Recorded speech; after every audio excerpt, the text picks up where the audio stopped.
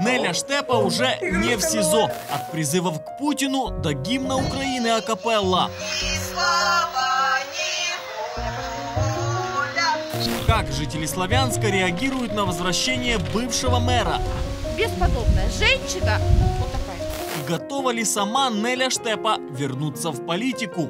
Я не бью два раза. Один раз по морде, другой раз по крышке гроба. Я сразу по крышке гроба. одиозная, да, вот она была одиозная всегда. Славянск боевики вошли 12 апреля 2014 Градоначальница Неля Штепа в тот же день у здания захваченного городдела милиции. Я хочу, чтобы вы знали, что это не какие-то люди приезжие там Западной Украины, как мы, мы с вами сегодня переживаем. Сегодня это наши донбасские ребята. Э, То, что э, диверсанты Стрелкова выбрали Славянск, я думаю, что в этом заслуги либо помощи Нелли Штепа нет. Э, Ее э, вина в том, что она в той ситуации э, четко не определила свою позицию.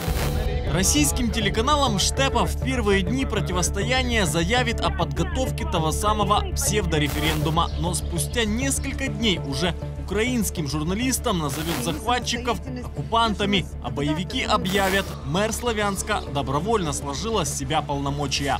Мы решили Нелю Игоревну никому не отдавать. Вот, она находится у нас. Она в нормальном состоянии. Затем появится сразу несколько интервью Штепы о правом секторе и о Путине. Владимир Владимирович, ну зайдите уже сюда, зайдите и просто помогите нам. Ну вы же видели, что я была вся побитая, как- что я со слезами так говорила. Вы это видели? Оправдываться Неля Штепа будет уже на скамье подсудимых. Правда, есть и другое видео из Славянска под контролем боевиков.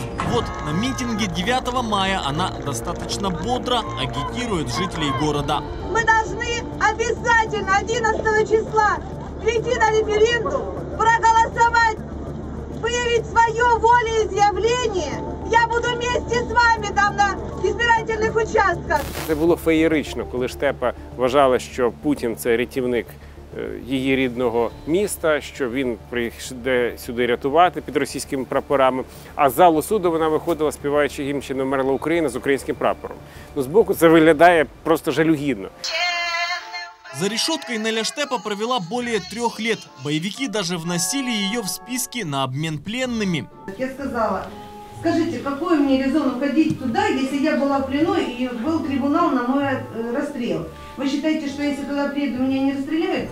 Теперь на подконтрольной Украине территории Штепе надели электронный браслет. По решению суда она должна находиться в доме своей подруги в Славянске. Игрушка новая. Я знаю, что мне не дадут э, больше, чем я отсидела. И если даже вот, э, я надеюсь только на оправдательный приговор. Э, Сама Штепа из э, села Звановка, у нее там есть дом, у нее там регистрация. И месяц назад Центральная избирательная комиссия объявила выборы в Звановской территориальной громаде. Это несколько сел объединились. Я думаю, Штепа выставит свою кандидатуру и станет поселковым головой, либо сельским головой.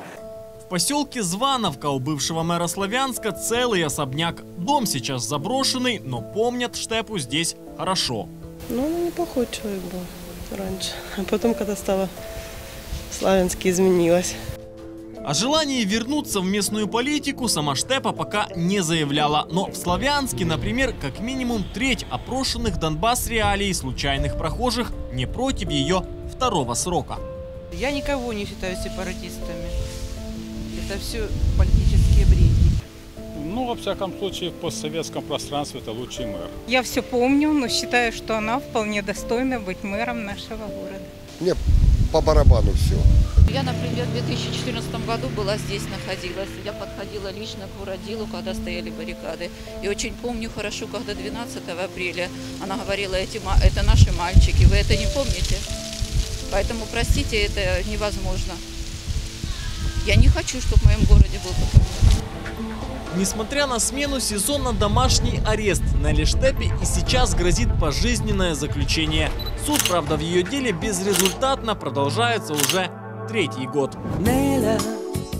А в интернете по случаю выхода Штепы из тюремной камеры даже шлягер 90-х переделали. Страдания удел любого патриота, но ты уже ушла и щелкнули ворота. О, Неля, Ярослав Кричко, Артем Белов, Роман Ребрі, Донбас Реалії, Радіо Свобода.